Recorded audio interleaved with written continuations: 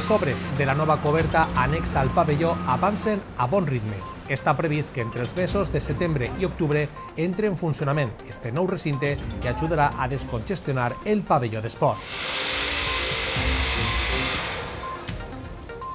Amb esta coberta es completarà una nova fase d'obres de la ciutat esportiva. Ho veurem al detall més tard en el bloc d'informació general d'este informatiu.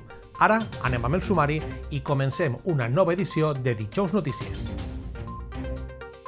la primera visita institucional del president de la Generalitat, Carlos Mazón, ha sigut esta setmana en la Pobla. Només 24 hores després de ser investit com a president, visitava la seu del Banc d'Aliments, on va ser rebut pel president de l'entitat i l'equip de govern. Després d'una intensa setmana de classes i concerts, el seminari musical d'estiu finalitzava amb un concert de l'alumnat i el lliurament dels diplomes per a tots els participants. Les instal·lacions esportives estan a ple rendiment amb la celebració dels campus d'estiu. Hem visitat el campus del Baibonense i el del Bàsquet Pobla per a veure de primera mà el seu funcionament. Carlos Mazón va ser investit el dilluns al matí i dimarts al matí feia la primera visita institucional al Banc d'Aliments de la Pobla. En el seu primer dia com a president de la Generalitat, Carlos Mazón ha visitat la Pobla de Vallbona ha tornat al Banc d'Aliments, que ja va visitar quan era candidat a president. El cap del Consell s'ha interessat de nou per la tasca solidària que fa aquesta associació sense ànim de lucre i ha reiterat el recolzament de les institucions a aquestes iniciatives. Esta visita és un acte ple de simbolisme perquè diu el president de la Generalitat que tornant al Banc d'Aliments de la Pobla complix una promesa personal que ara es converteix en un recolzament institucional real. Más allá de las subvenciones, más allá del dinero público, más allá del apoyo de todos, a través de la Generalitat o de cualquier otra administración, que por supuesto tiene que estar muy atenta a este hecho y a esta realidad. Lo que me gustaría convertir en realidad desde este símbolo es la gran solidaridad del pueblo valenciano, la gran solidaridad que está haciendo que estos almacenes se llenen todos los días y se vacíen todos los días en beneficio de los que más lo necesitan. El Banco de Alimentos en Valencia está atendiendo a 60.000 personas al mes y eso significa una grandísima labor. Sí, lo primero que hay que hacer es agradecer y reconocer. Pienso que como una sociedad, los voluntarios, eh, todas las personas que altruistamente están colaborando aquí todos los días, a todos los que están donando alimentos particulares, empresas y un creciente apoyo de las administraciones que que es inevitable, es necesario y que tenemos que poner en marcha. Que trabajemos todos juntos y que ese mensaje de acordarnos de quien peor lo está pasando es fundamental. No solamente desde el punto de vista de la ayuda directa económica o alimentaria, sino desde un concepto ya avanzado de solidaridad entre todos, que va más allá y que tiene que ir no solamente con los alimentos, que es lo básico, sino que tiene que ir a una mejora de la sanidad, tiene que ir a una mejora de la educación, a una mejora de la empleabilidad, a una lucha contra el desempleo. Todo eso junto es la solidaridad. L'equip de govern de l'Ajuntament de la Pobla ha acompanyat a Carlos Mazón en la primera visita institucional que fa com a president de la Generalitat. De tot el territori valencià, el cap del Consell ha triat la Pobla i així ho agraïa l'alcalde.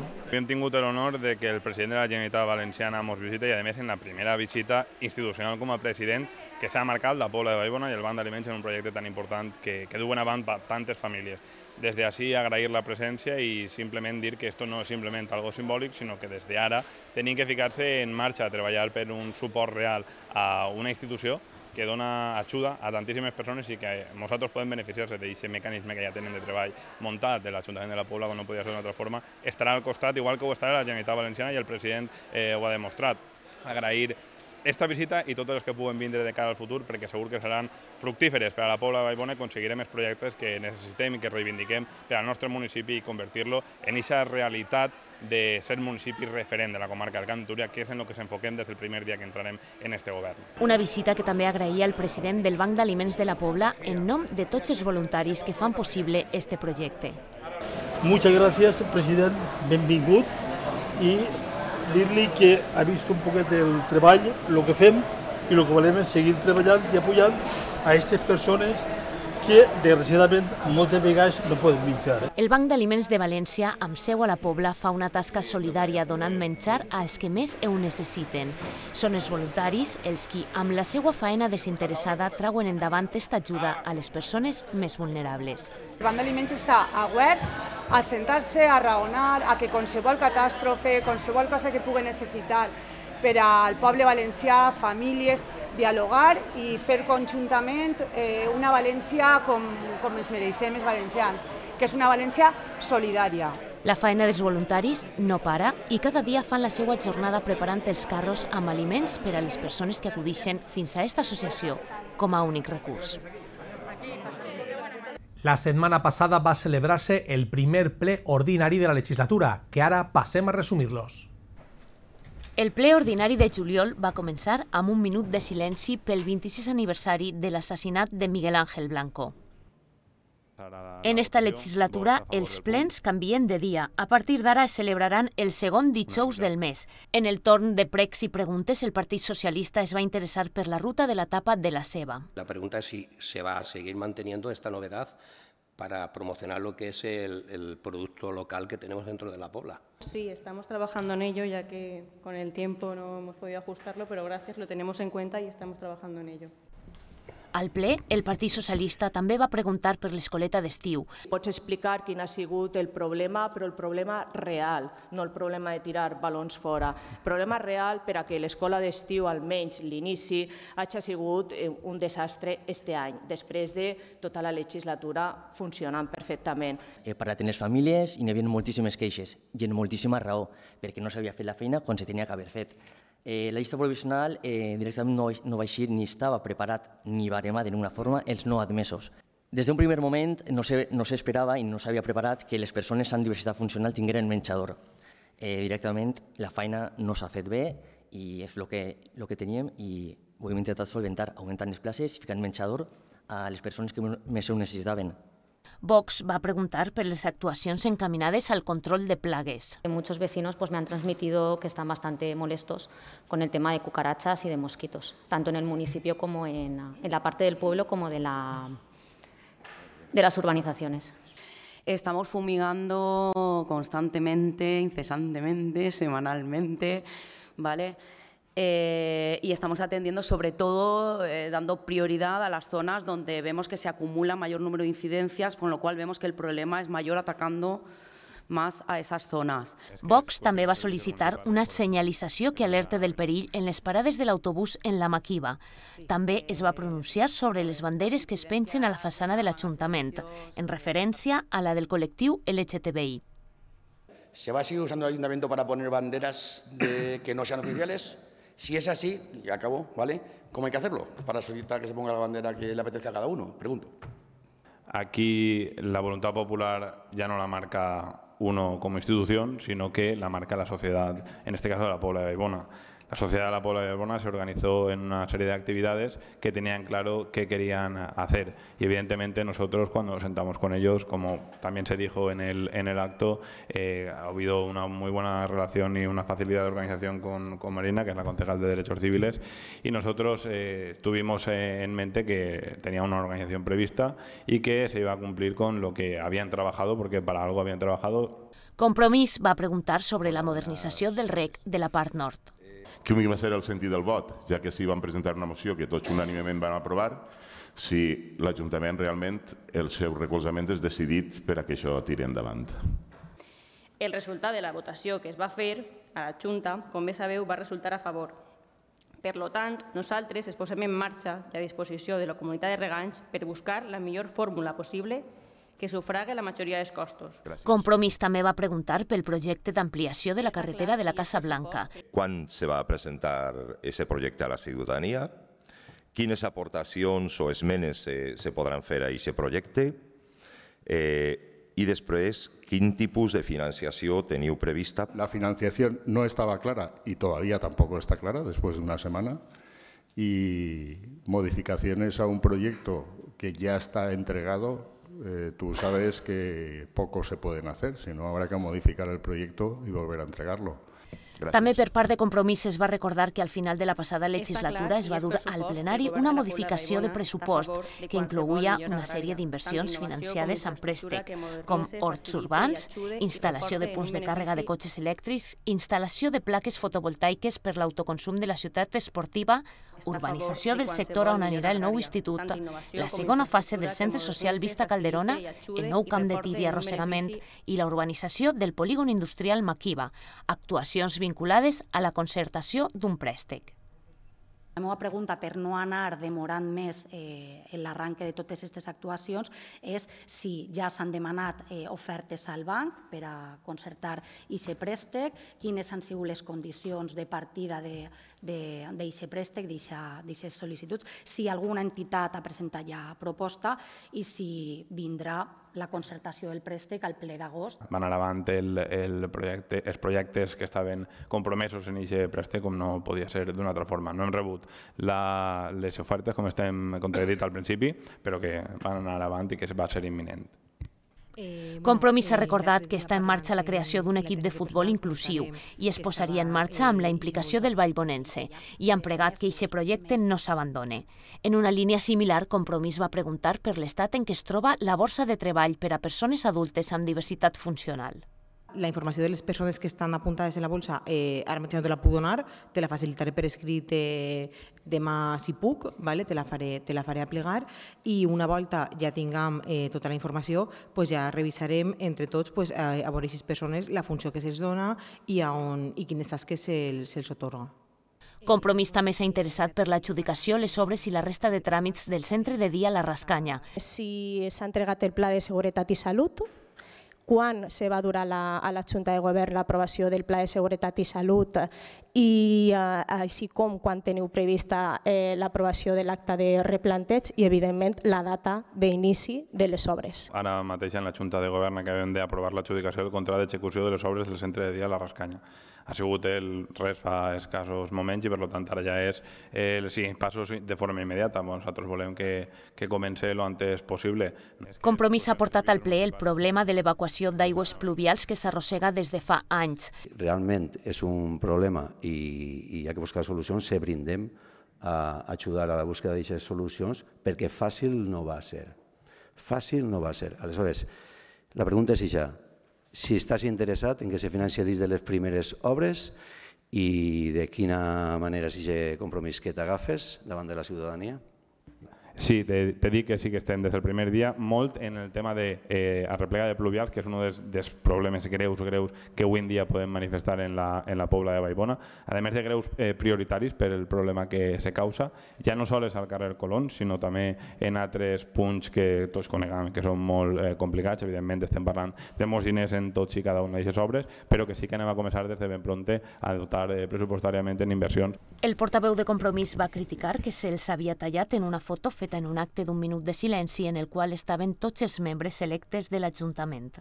Les fotos oficials que se fan eh, se tallen per a que uns no isquen i altres sí. És un poc penós. Quan jo te convide, eh, eixiràs, com has eixit. Eh? No, si no és qüestió, si tens que entrar a Instagram o al Facebook i n'hi ha tres fotos, una, dos i tres, i ahí te veuràs. A la invitació que me fas a mi com a membre electe d'este plenari, com a membre d'un grup municipal, com se fa a la resta dels que estaven allí, jo accepte i em pose, faltaria més.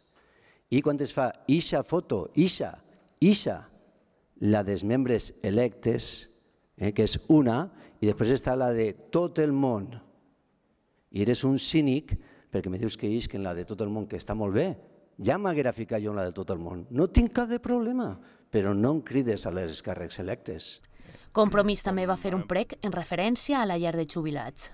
Pregue que te prengues el màxim interès en rematar, exposar al públic i finançar aquesta necessitat que pareixia que per a vosaltres s'acabava el món si no es feia i ara eh, va ajornant-se i ja em fa tota la pinta eh, vist eh, lo vist, que no anirà en el pressupost del 2024. Sent eh, dir-li a la gent que en tres setmanes no puc arreglar el poble perquè han tingut vuit anys i no han fet res de lo que estan dient. No passa res. Treballarem, com no podia ser d'una altra forma. Agraïs que les vostres preocupacions les arreplegue totes i se ficarem a treballar conforme a la diligència que correspon. El pròxim ple ordinari municipal es celebrarà dimarts 1 d'agost al ser el primer dia laborable d'eixe mes. Un any més, els Premis Excel·lència tornaven a premiar els millors alumnes de la Pobla, un reconeixement a un curs on els resultats acadèmics dels premiats ha sigut excel·lent. Després d'estar tot l'any estudiant de valent, d'haver aconseguit les millors notes del seu centre i abans d'anar-se'n de vacances, els millors alumnes de la Pobla del curs que acaba de finalitzar rebien en l'Auditori de la Casa de la Cultura el reconeixement a la superació d'un dur curs acadèmic amb la gala dels Premis Excel·lència sobretot valorar la cultura de l'esforç, perquè al final eh, no és un camí fàcil, és un camí en el que s'han d'esforçar dia a dia i com no des de l'Ajuntament reconèixer aquest esforç i saber que eh, s'anem a recolzar al 100% i donar-los l'enhorabona una vegada més i que seguissin endavant. La gala començava amb els premis per a l'alumnat de l'últim curs de primària. En esta primera part de la gala va haver-hi presència dels col·legis Lluís Vives, Mas de Tous, El Campés, Centre Color, Sant Rafael i Sant Josep. L'alumnat pujava a l'escenari per a replegar el seu premi amb la companyia del director o directora del centre. Seguidament, tor per a l'alumnat amb millors notes de l'etapa de secundària. En esta segona part de la gala, els premiats van ser del Col·legi Sant Josep i d'Elies La Vereda. Per part de l'alumnat de l'institut també hi hagueren reconeixements per a les notes més brillants i més destacades dels cicles formatius de grau mitjà i superior, ja que ells també formen part de l'alumnat excel·lent de la Pobla. És un acte molt emotiu, és un acte molt fàcil de presenciar i d'estar i de participar en ell, perquè dona molt de goig, no? Eh, veure el resultat de tot un any d'esforç, de dedicació, que damunt t'obri una nova etapa per tots ells i tots elles, que segur que serà il·lusionant i apassionant. Jo els anime a que continuen en aquest esforç i nosaltres pues, en una alegria immensa per veure a tants jovens de la Pobla de Baibona que complixen en la seva obligació i que segur que seran el futur esperançador que tenim per al nostre poble. La vesprada d'homenatge i premis per als millors alumnes de la Pobla del curs 2023-2024 finalitzava amb una foto conjunta de tots els participants. El nou cap de la policia local, Vicent Martínez, ja està exercint com a tal canvis en la direcció del cos de seguretat municipal amb el qual començar una nova etapa. L'alcalde de la Pobla, Abel Martí, i la regidora de Recursos Humans, Marina Rubio, s'han reunit amb el cos de la policia local esta setmana.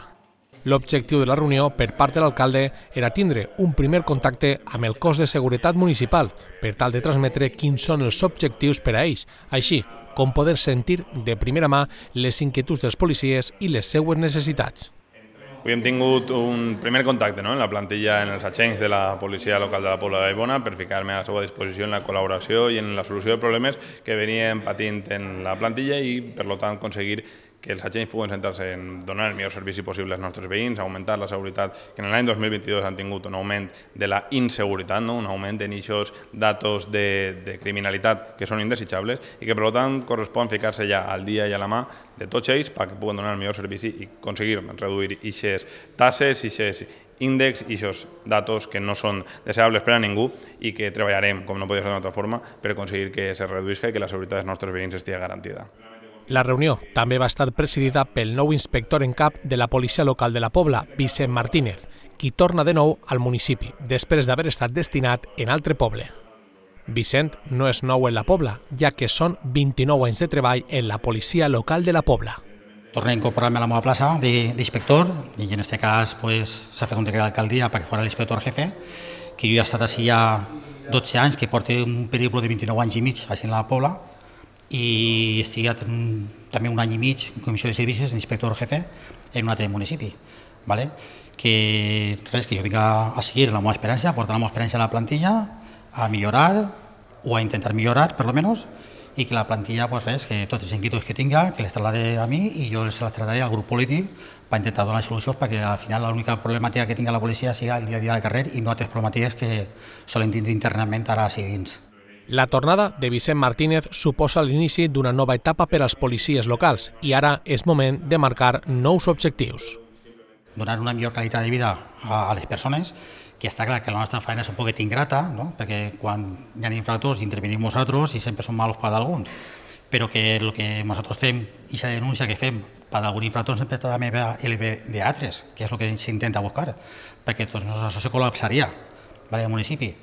I res, nosaltres seguir avant i intentar que, vaig a veure si puc intentar que la policia sigui més pròxima al vi, que això el vi també, també ho agraeix, i que no sigui una policia llunyana, perquè al final nosaltres som la policia més cercana i la que primer sempre intervenim per la cercania.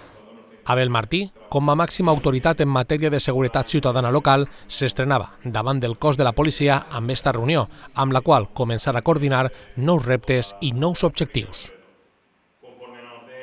El curs esportiu que donarà inici en setembre arribarà amb la novetat d'una nova instal·lació esportiva, les obres al costat del pavelló d'esports avancen a bon ritme per tal de culminar un recinte que complementarà l'oferta de clubs i escoles. Les obres de la coberta anexa al pavelló avancen a bon ritme. L'estructura metàl·lica està quasi completada i la ràpida evolució d'esta fase de les obres es pot apreciar dia a dia com avança. Primerament, sigue la instal·lació dels pilars i esta setmana s'ha continuat amb els treballs amb el que serà l'estructura del sostre.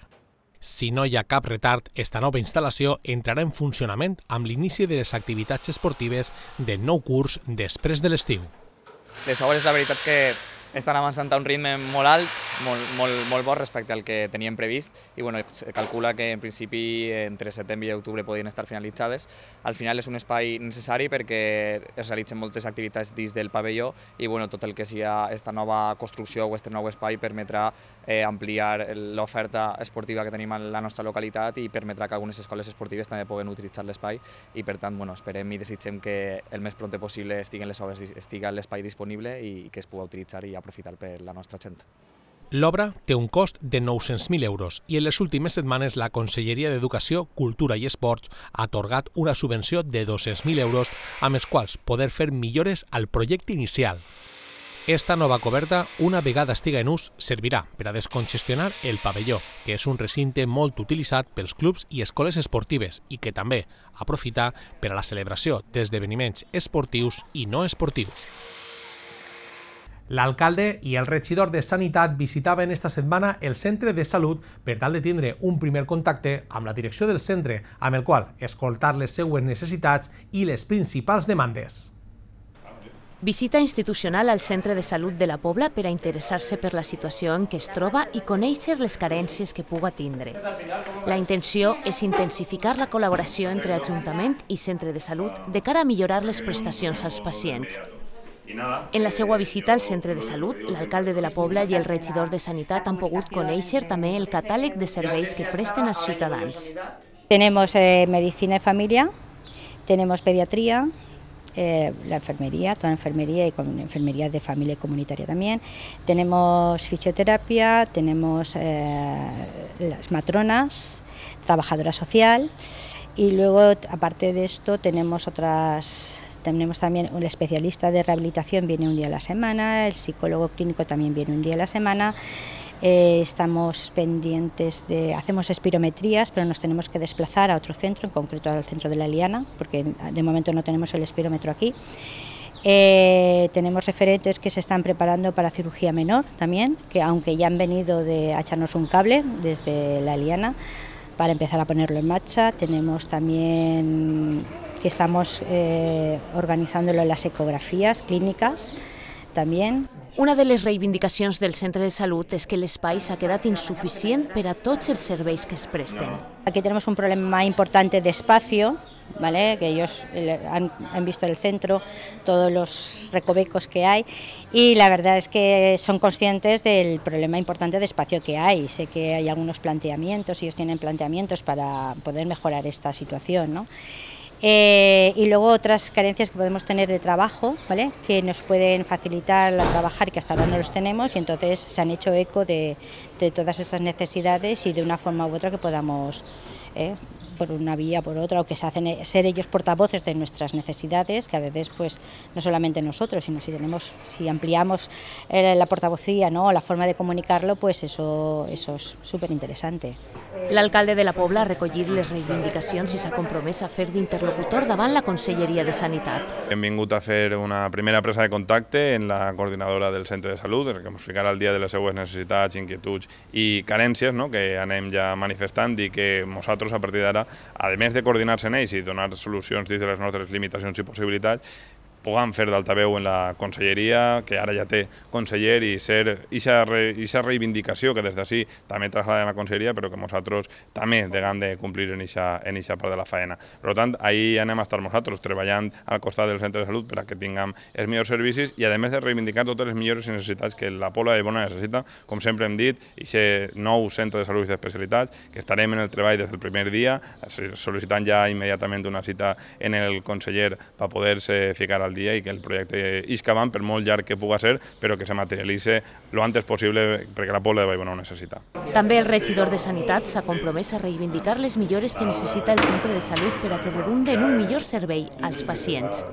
Som conscients des de l'Ajuntament que és un centre de salut que se queda molt xicotet, per tant, les reivindicacions d'un nou centre de salut eh, van a començar des de ja, com ja, ja estem fent, i a partir d'ahir, pues, bueno, eh, sobretot el més urgent, eh, intentar buscar una solució a tot això, les, als problemes que ens transmeten, i, i bé, pues, eh, des de l'Ajuntament mostrar la nostra col·laboració màxima en, eh, en Pilar, en cas en la coordinadora, en tots els treballadors del centre de salut, i al final lo important així és que el pacient, els veïns de la Pobla de Vallbona, quan vinguin al centre de salut estiguen ben atesos, se'ls atenga bé, se'ls atenga ràpid, i sobretot pues, això ha de, ha de sorgir i és una suma d'un bon treball, tant de la coordinació del centre de salut com de l'Ajuntament a l'hora de reivindicar en conselleria. El centre de salut de la Pobla atén a una població d'uns 25.000 habitants, però en estiu la població s'incrementa considerablement per la quantitat de gent que té segones residències en les urbanitzacions de la Pobla. Les activitats organitzades per la Llar Jove no paren en estiu. Es mostrem ara els principals cursos i tallers impulsats en les últimes setmanes. Hola, queridos espectadores. Yo soy Tinky Winky. Yo soy Lala. Yo soy Dipsy. Y yo soy Po. Y somos los Teleturbios. Esta és una de les activitats de l'Escola d'Estiu de la Llar Jove. Estan fent un curs de ràdio i podcast. Per a que els propis eh, adolescents pues, tinguin la seva pròpia veu, que, tinguin, que puguen expressar les, les seues idees en una, una plataforma, en qual siga qualsevol plataforma, com fer-lo, com editar-lo, quins programes tenim, quin, pues, des d'una vista molt general, pues, com pues, tindre, saber tindre un micro, saber, tindre, saber parlar, saber fer un guió important, i, uh, i com, i com pues, treballa la ràdio. A més de fer el guió, els mateixos joves han buscat la música y han locutat el podcast. Y hasta aquí ha llegado nuestro podcast. Muchas gracias por escucharnos y hasta luego. Hem fet un podcast que tractava d'animals perillosos i m'ho he passat ben fent-lo i ja ha estat bé, ha estat bé. Els joves també han après a fer televisió i curtmetratges. Y hacemos sobre todo actividades para más jóvenes, no es como una escuela para niños, porque lo que queremos es inculcarles también valores y entretenerles sobre todo para que no estén en casa. L'escola d'estiu de la Llar Jove està destinada a persones d'entre 12 i 16 anys. Es fa a l'Espai Jove de 9 a 2 i mitja durant tot el mes de juliol.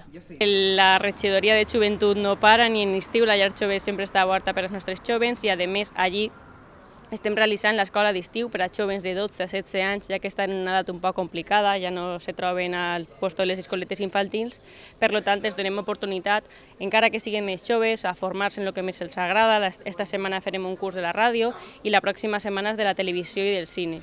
Tallers com este de podcast té una gran acceptació per part dels joves, com també ha tingut molt d'èxit el curs de monitor de temps lliure. És un curs en el qual donem oportunitat a 24 joves del nostre poble a formar-se tant teòrica com pràcticament des del cursillo de monitor de temps lliure i així ens preparem i es donem formació per afrontar-se al món laboral i que tinguin eh, més oportunitats a l'hora de buscar el treball que ells desitgen. Per tant, aquest tipus de cursos en la Pobla són un èxit i l'equip de govern seguirà invertint en aquest tipus de formació i potenciant els cursos que els nostres joves desitgen. Cursos com el de monitor de temps lliure donen formació als joves i els preparen per accedir al món laboral. Esta setmana ha sigut l'última de campanya electoral. Els principals partits han apurat les seues opcions per a demanar el vot a l'electorat. Recta final de cara a les eleccions de diumenge i els partits polítics s'eixien al mercat a fer campanya i trobar-se de primera mà amb la gent per a presentar els seus programes electorals. El Partit Socialista ha reivindicat les polítiques socials de l'actual govern de Pedro Sánchez i ha animat a continuar en la lluita per aconseguir avançar en drets i llibertats. Diumenge ja tenim que escollir la papereta per a les eleccions generals i tenim la possibilitat pues, d'escollir al Partit Socialista, que té un projecte per a Espanya que ja ha demostrat amb les seues polítiques durant cinc anys que està del costat de la ciutadania, que puja les pensions, que fa una reforma laboral per a que l'empleabilitat eh, siga una realitat en el nostre país. I enfront tenim un partit popular que el que fa és proposar la derogació de totes les lleis, els avanços socials que hem aconseguit no només al llarg d'estos cinc, anys, sinó també sempre que ha governat el Partit Socialista i també tenim un Partit Popular que el que fa és negociar amb els nostres drets amb un, un partit que es diu Vox, que el que fa és limitar les nostres llibertats i els nostres drets. El Partit Popular fa una aposta ferma per un canvi en el govern d'Espanya. I ha reivindicat que aquest canvi el representa el PP d'Alberto Núñez Feijó ja estem en recta final, ja estem en mentalitat d'anar a votar el pròxim diumenge, que és molt important, que se pugui anar tot el món i complir en la seva, en la seva missió, en la seva funció, que és decidir el pròxim govern d'Espanya, de, que necessita un canvi. Per això, des del Partit Popular en la Pobla de Vallbona, pues, contribuirem a aquesta causa, que s'aconsegueixi el canvi, que el Partit Popular ostente el govern d'Espanya el pròxim 23 de juliol i demanem a tots els veïns que isquen a votar, que voten en consciència i que voten per aquest canvi que representa el Partit Popular. La coalició Compromís Sumar s'ha reivindicat com el partit que garanteix un govern progressista d'esquerres i destaquen les conquestes fetes en polítiques socials. Sabem que en les eleccions es juguen moltes coses, han passat les municipals, que és el poder més propet, i les autonòmiques, però a l'Estat també és, és tota la legislació que durant aquests anys de, sobre drets civils i llibertats hem, hem estat recolzant, eh, no poden tindre perill de desaparèixer, com està passant. Estem veient eh, la manera de governar de la dreta amb l'ultradreta en molts municipis de, del País Valencià, on s'està censurant, en, arreu d'Espanya s'estan censurant cultura, teatre, llibres, i el que volem demanar és la gent que recolze per a poder tindre una garantia d'un govern progressista d'esquerres. És una candidatura basada en les conquistas sociales que hemos ido consiguiendo durante estos años y que queremos seguir avanzando en este, en estas, en estas medidas. No queremos que se conviertan estas elecciones en un retroceso en, en los servicios públicos i en els servicis socials que s'han aconseguit. Vox va celebrar un acte de campanya el cap de setmana amb la presència del cap de llista al Congrés, Carlos Flores, i el ja vicepresident del Consell, Vicente Barrera. L'objectiu del partit és que la dreta torni a governar Espanya. Queremos contribuir a la remoción de Pedro Sánchez de la Moncloa, queremos contribuir a la reversión de las políticas del sanchismo. Queremos ser parte de la alternativa política de este país y queremos serlo con lealtad pero también con respeto a la voluntad de los españoles y, por supuesto, a la confianza que los españoles hayan depositado en nuestras eh, listas. Pues yo creo que Vox eh, va fuerte, va fuerte, creo que va a ser un partido esencial para el cambio en España, que realmente es lo importante, es para lo que Vox está aquí, para conseguir que la derecha vuelva a gobernar en, en, en España. Queden dies per a les eleccions generals. El 23 de juliol tenim una cita a les urnes per a triar el govern d'Espanya per als pròxims quatre anys.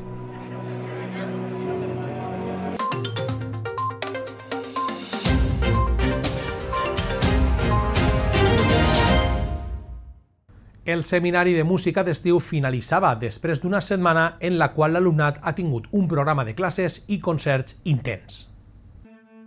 Amb un concert per part de l'alumnat del seminari musical s'arribava a la cloenda després d'una setmana on als matins i les vesprades el protagonisme era per a les classes i a la nit es passava de les aules a l'escenari de la Casa de la Cultura amb la celebració de diferents concerts.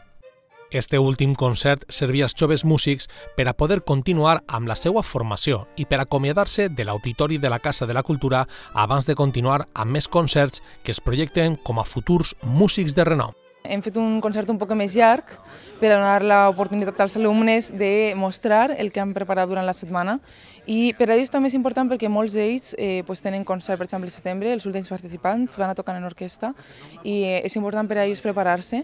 Altres han tocat estudis de, violoncelo solo o Bach, que també tenen concursos en els pròxims mesos. Aleshores és important per a ells tindre l'entrenament de poder eh, pujar-se a l'escenari, tocar el que han de preparar per als concursos, perquè al final així tenim cantera de concursos eh, internacional.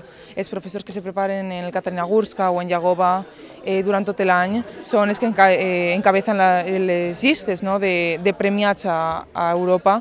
Aleshores els avisa que en els pròxims eh, concerts els eh, seguisquen la pista perquè són el futur. Enguany, el seminari ha tingut més participació que en anys anteriors i la qualitat dels mestres ha sigut determinant per tal d'haver aconseguit més alumnat, ja que per a ells i elles esta és una oportunitat de poder formar-se sense haver de desplaçar-se a un país estranger. Mestres de prestigi internacional que han permès poder rebre les seues ensenyances sense haver d'anar als seus centres de referència, només venint a la Pobla.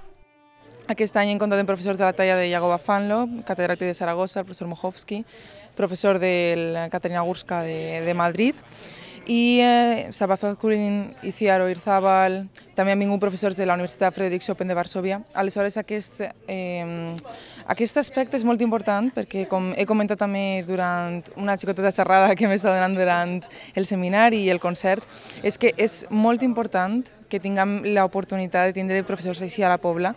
Amb l'últim concert i el lliurament dels diplomes es posava el punt final a un intens seminari que ha fet de la Pobla un punt de referència de la formació musical.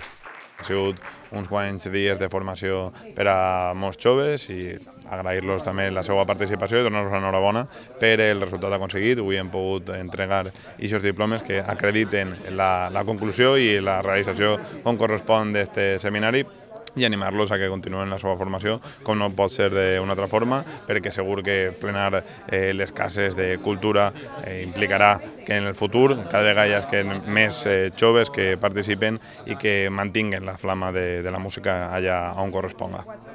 Cinc dies que arribaven al seu final amb la interpretació d'una selecció musical amb la qual l'alumnat mostrava al públic tot el que havien après durant la setmana. El programa de les festes d'estiu va citar el diumenge a la nit als aficionats a la música lírica en un concert protagonitzat pels alumnes del Centre de Perfeccionament del Palau de les Arts. Nit de música a la fresca, la que va oferir el recital de l'alumnat del Centre de Perfeccionament del Palau de les Arts en l'escenari de les festes del parc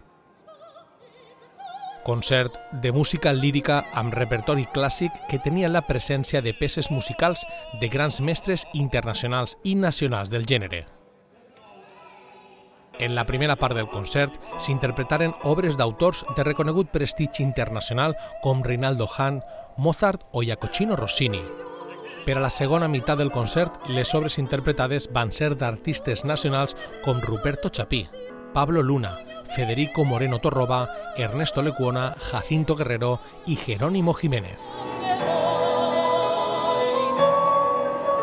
Els intèrprets que van actuar a l'escenari van ser la soprano Rosa Dávila, la mezzosoprano Mariana Sofía i els barítons Carlos Reynoso i Alejandro Sánchez.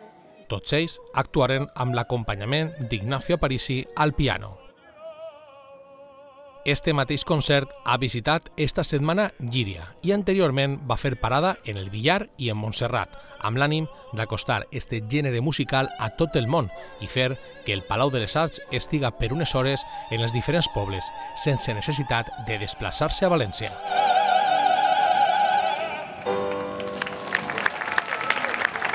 I per a l'agenda d'actes d'este cap de setmana arriben les celebracions de la Festa de la Ceba, cap de setmana intens, amb actes per a tots els públics. Durant tot el cap de setmana estarà celebrant-se la Festa de la Ceba, amb actes culturals i festius pensats per a tota la família. La part més important dels actes arribaran a partir del divendres 21 de juliol i la coberta del mercat i el passeig de la senyera seran el lloc de les celebracions. El divendres a les 6 de la vesprada s'ha programat un racó infantil i a partir de les 7 es farà un repartiment de borses commemoratives en la coberta del mercat. Des de les 7 donarà inici un tardeo musical que serà l'avançala de la Torra Xove en el Parc Municipal. A les 11 de la nit, el grup Vertigo Revolution posarà l'ambient i la millor música a la primera nit de la Festa de la Ceba. El programa preparat per a dissabte no és gens menys complet. La Festa de la Ceba s'inicia a les 10 i mitja del matí amb un esmorzar popular de pa i porta i la degustació de plats de la ceba dissenyats per a l'ocasió. A partir de les 11 començarà el racó infantil, l'exhibició de com s'encaixaven les cebes i posteriorment una exhibició de tractors i carros d'horta. A les 2 serà el moment de la degustació d'una paella gegant i la vesprada està reservada per al gaudiment dels menuts amb uns inflables aquàtics. A les 9 i mitja de la nit començarà el sopar de la Germanor Fallera en la coberta del mercat i a partir de les 11 l'ambientació musical anirà a càrrec de l'Orquestra La Tribu. Diumenge a la nit, les festes en el parc no s'acaben i els amants de l'òpera podran gaudir d'un concert homenatge a Maria Callas i Pavarotti. Per part de l'Associació de Veïns de la urbanització Camp de Túria, ja s'ha obert el termini per a poder inscriure's en el seu concurs de microrelats. Les obres hauran de tindre un total de 10 línies i s'han de fer arribar abans del 15 d'octubre a la Biblioteca Municipal, al correu postal de l'associació o al correu electrònic premiosliterarioscampdeturia arroba gmail.com. I al mateix moment, l'Ajuntament de la Pobla ja ha obert el termini de presentació de sol·licituds per a la tercera edició del concurs de composició per a banda Arturo Balaguer, el de Canya, de l'exercici de 2023. El termini de presentació de les obres s'ha iniciat el dia 17 de juliol i finalitzarà el dia 2 d'octubre. El premi per al guanyador és de 5.000 euros.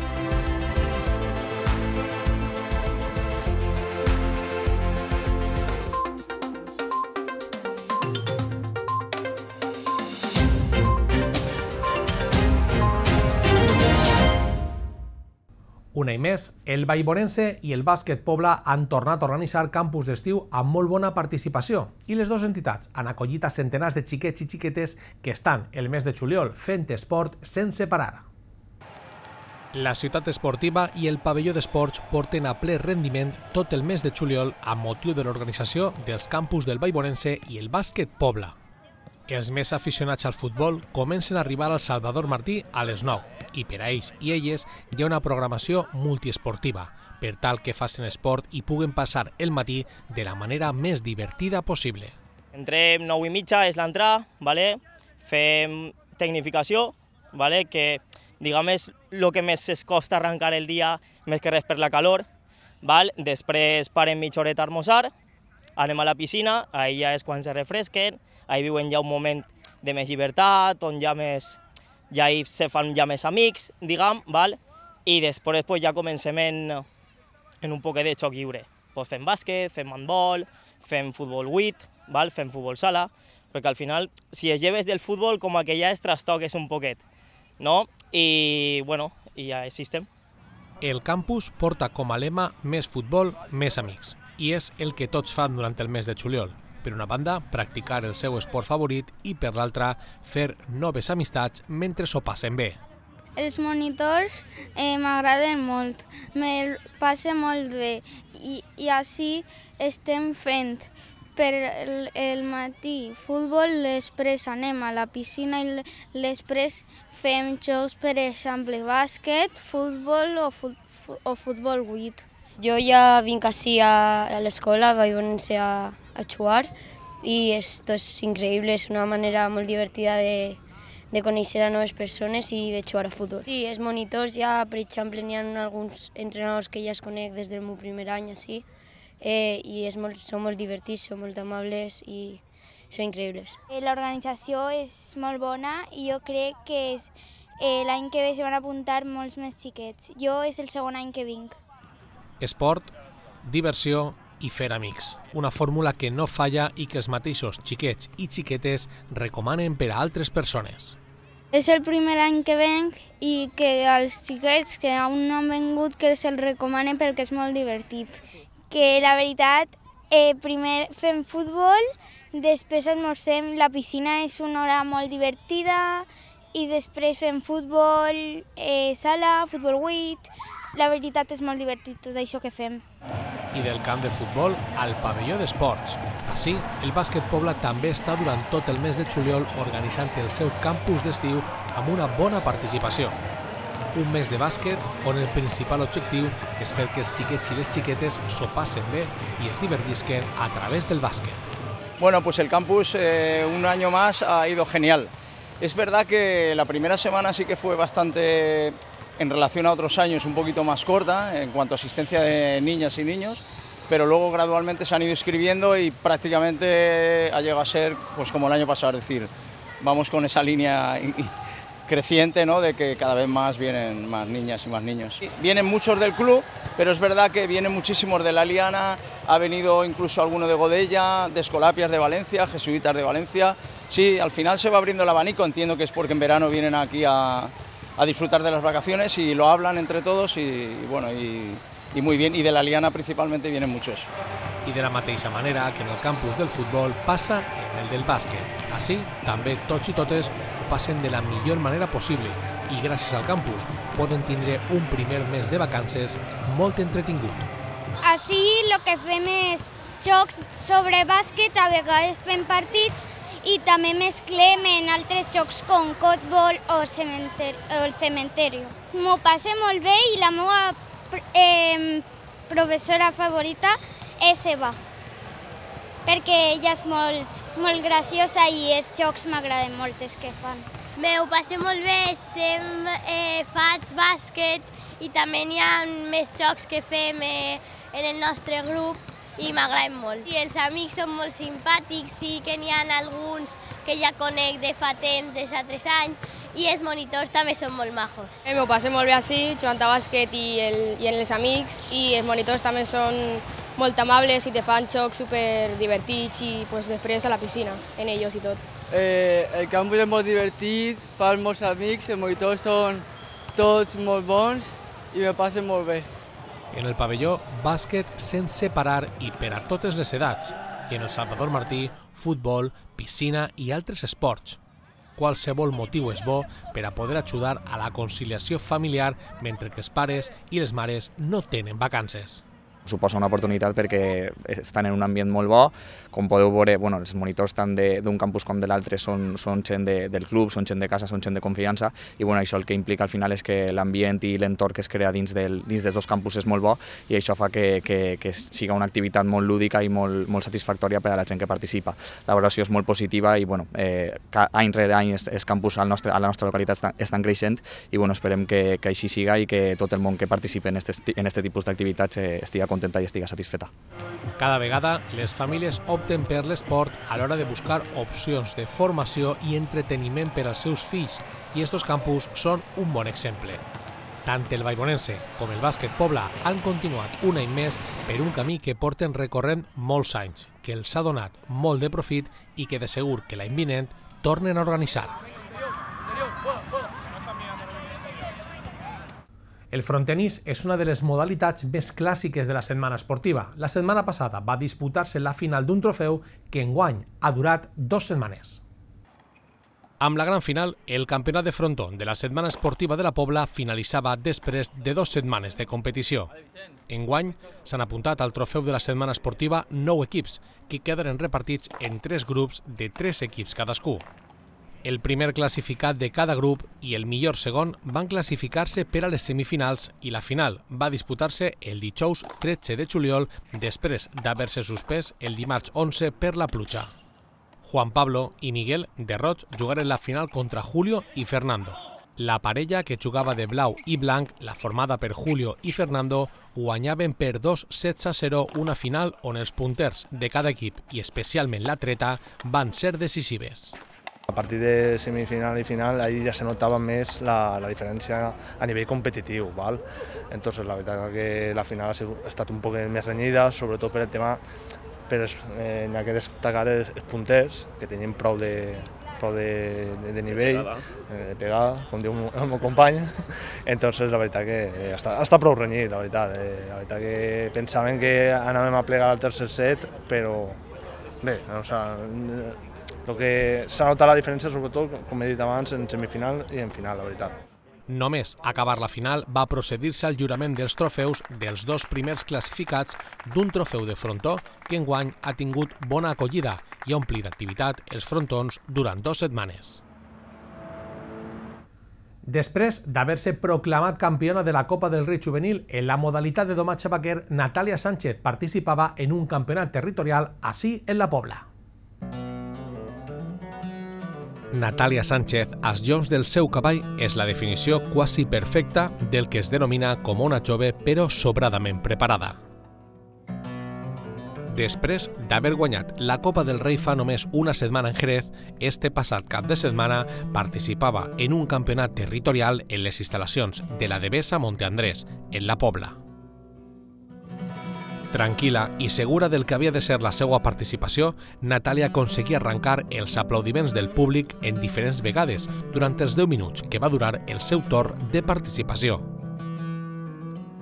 El triomf en Jerez, només una setmana abans, no era el primer títol d'aquestes característiques que sumava al seu palmarès, ja que este triomf en la Copa del Rei Juvenil era la reedició de l'anterior. La modalitat en la qual participa Natalia és la de domatge vaquer, una de les disciplines tradicionals espanyoles. Esta disciplina equestre està en plena expansió i per a practicar-la la raça de cavall més utilitzada és la de pura raça espanyola. Però més que explicar-los esta modalitat i els seus secrets, què millor que s'ho mostre la mateixa Natàlia amb les imatges de la competició d'este cap de setmana.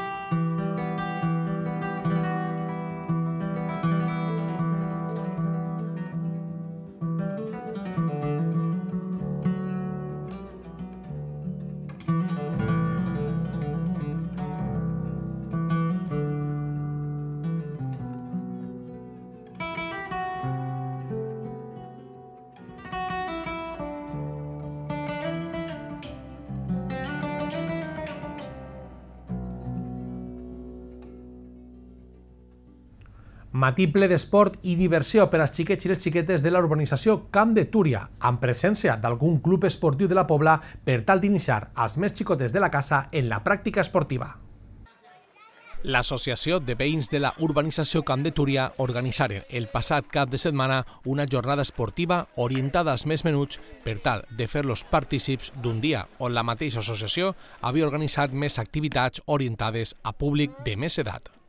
Els xiquets i les xiquetes no dubtaren en participar d'una activitat on el primer que van fer van ser carreres per edats i després natació en la piscina comunitària. Una vegada superades aquestes dues proves, podien continuar provant altres esports com la petanca, el tenis taula, el tir amb arc, bàsquet, futbol i activitats lliures, com el ball. Yo creo que ha tenido muy buena acogida, la verdad es que al final se ha apuntado mucha gente, son más de 60 niños y luego, por ejemplo, son diferentes eventos que se van a hacer, se va a hacer por la mañana toda la parte de jornada deportiva, por la tarde va a haber una parte eh, que va a ser el tema del karaoke y Got Talent que vamos a hacer con los niños y juegos. Y luego ya por la noche haremos una cena en la que en total pues seremos más de 200 personas los que vamos a estar involucrados en una cosa u otra, o sea que yo creo que la acogida ha sido muy buena. Tot i que la calor no convidava a fer esport, el fet de poder passar el matí amb els amics jugant sense parar va ser el reclam perfecte per tal que tot el món passara un matí divertit. Me l'estic passant bé, estem fent diverses activitats com futbol i bàsquet i és molt divertit.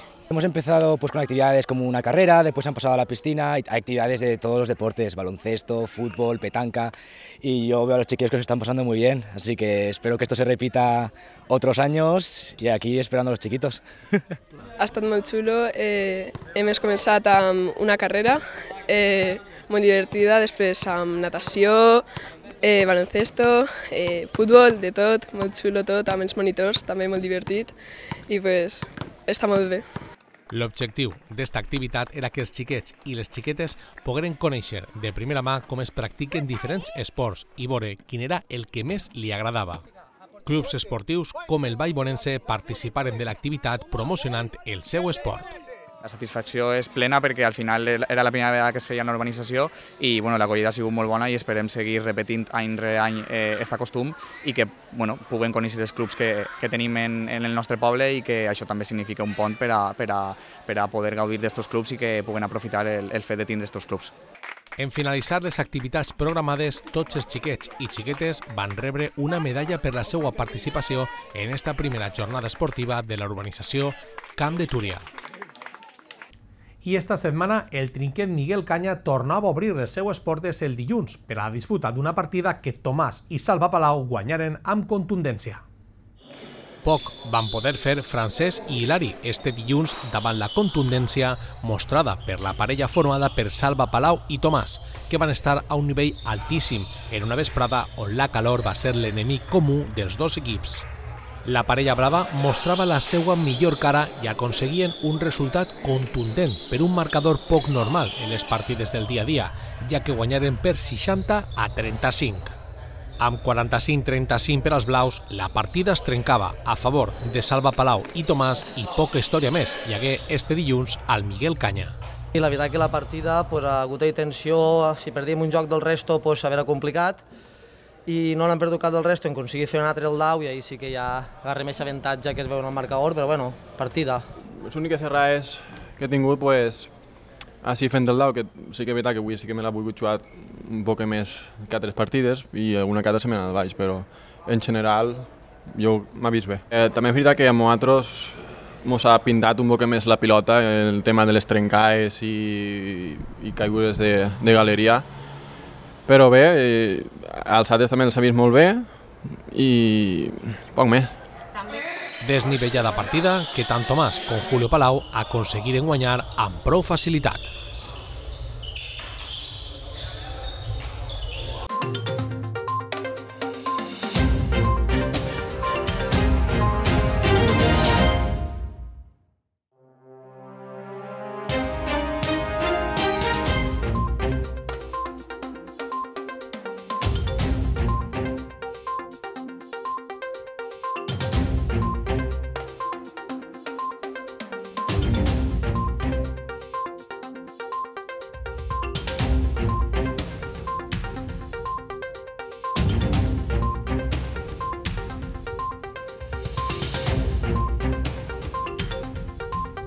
Fins així tota l'actualitat d'este informatiu. Recorden que el poden tornar a veure a la carta en el nostre canal de YouTube i també en les repeticions per televisió. Els desitgem una bona setmana. Fins el pròxim Dijous Notícies.